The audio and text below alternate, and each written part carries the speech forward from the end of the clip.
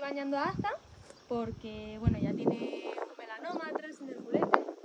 que le molesta bastante y ahora en verano con el calor y las moscas, pues